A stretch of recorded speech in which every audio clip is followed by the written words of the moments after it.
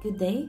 We will now solve another problem for vector addition using the cosine law and sine law method. The given for this problem is we will add vector b to c. Okay, so let's write the given. The first thing we have to do is for we have to draw our vector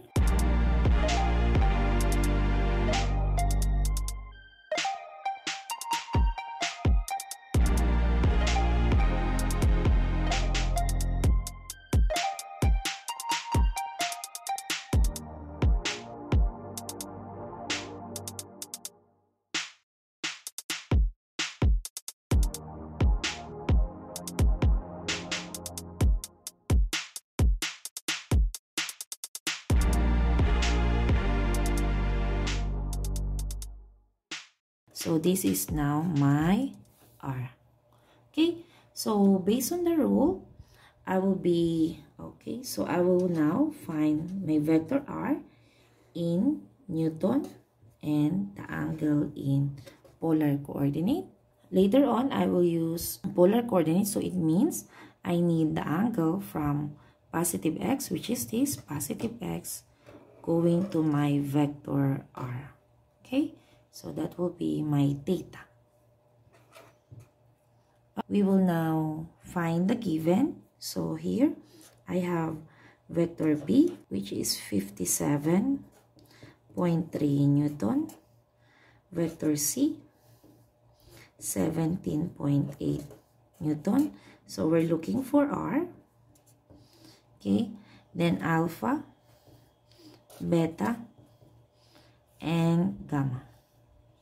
Okay, so if we will review again, so to find the magnitude, uh, we will use cosine law method to find r. So that is b squared plus c squared minus 2 b c cosine gamma square root of that.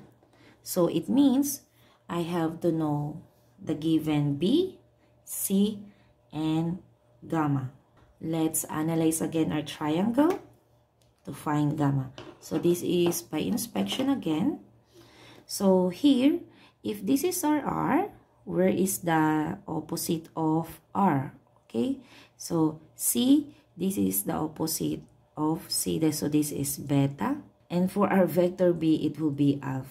So, and for our R, it's still gamma. Okay, so that one. Okay, so we will find gamma in this case. This one is straight downward. The south is straight downward.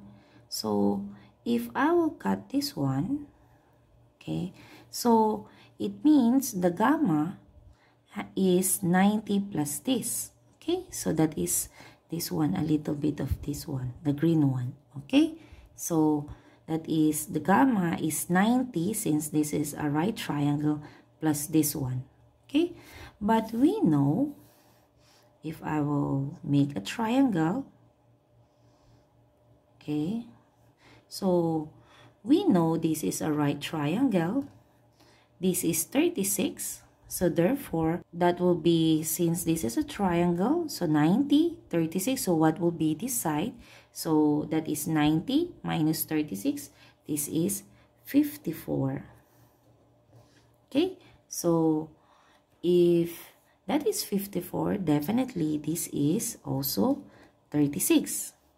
And based on, if you are familiar with another rule of this, so another way, if this is 36, this is also 36.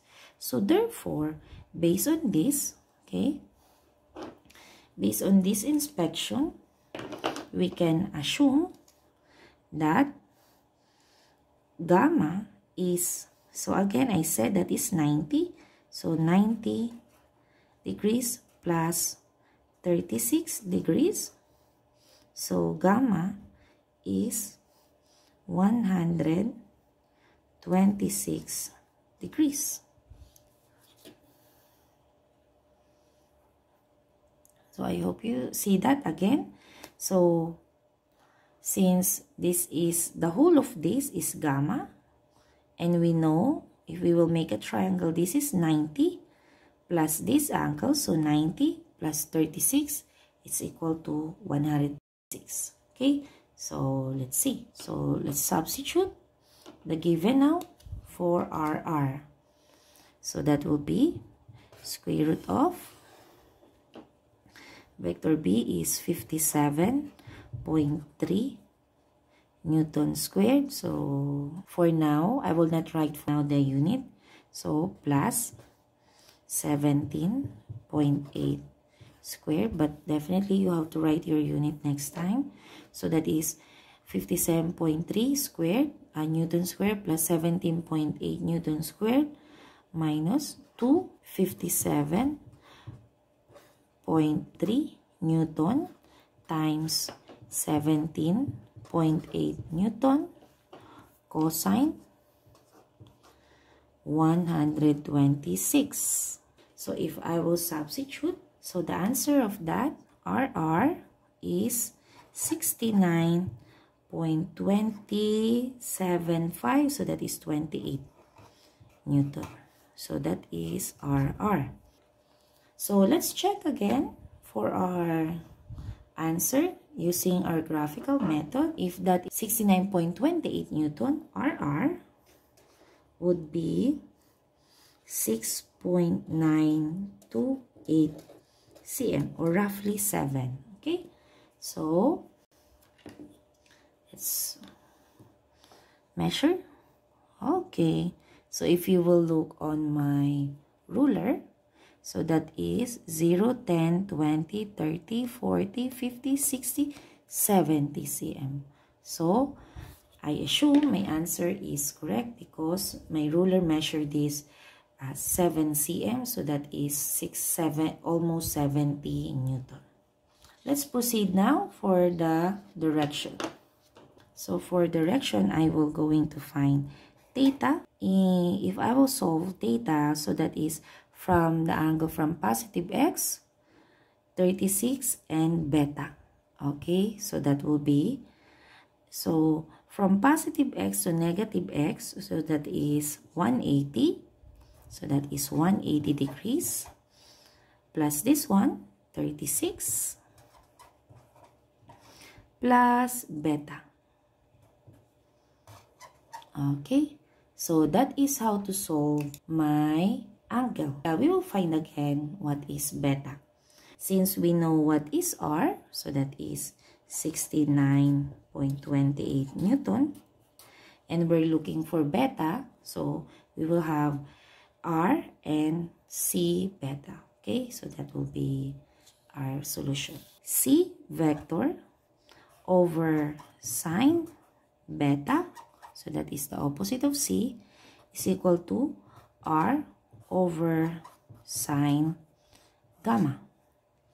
And again, so that is sine beta is equal to C sine gamma over r and beta so that will be arc sine so arc sine c sine gamma over r. So let's substitute. So that will be arc sine. So what is c is 17 0.8 Newton sine 126 degrees divided by 69.28 Newton. Cancel the Newton. So the beta now is so 11.9969 degrees or roughly this is 12 degrees. Okay, so here, if we will now substitute, so 180 plus 36, that is 216 degrees, plus what we have solved in beta, which is 12 degrees. So that is our theta now.